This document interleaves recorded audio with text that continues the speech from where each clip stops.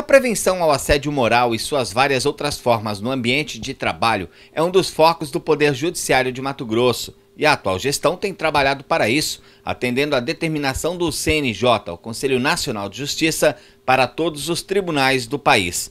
Tanto que criou e implantou a Comissão de Prevenção e Enfrentamento ao Assédio Moral, Sexual e Discriminação no âmbito do Poder Judiciário. Iniciou um ciclo de palestras em diversas comarcas, colocou um site no ar com informações e canais de comunicação com a comissão e está realizando um curso sobre o tema, voltado para magistrados, magistradas, servidores e servidoras. Nós sabemos perfeitamente que a partir do momento que a pessoa se vê totalmente humilhada, constrangida, isso mexe muito com o seu lado psicológico.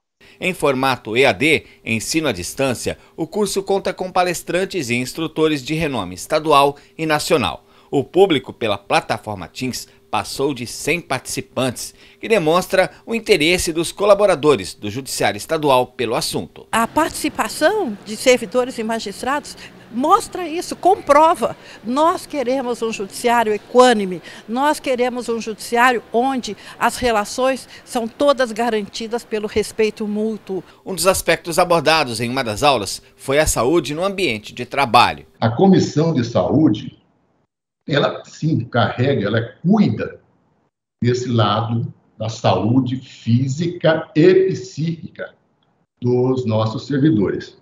Eu digo sempre que o maior patrimônio de toda e qualquer instituição é o seu recurso humano. A mulher da icônica imagem que simboliza a justiça no mundo todo é sempre representada assim, com os olhos vendados.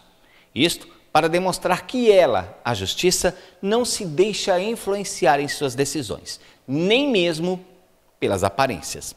Isso, contudo, não quer dizer que a justiça esteja cega para o assédio. Muito pelo contrário, o judiciário quer contribuir para a construção de uma nova cultura na sociedade e também nos ambientes corporativos, trazendo o assunto para discussão. Eu penso que essa capacitação busca isso, essa mudança de mentalidade.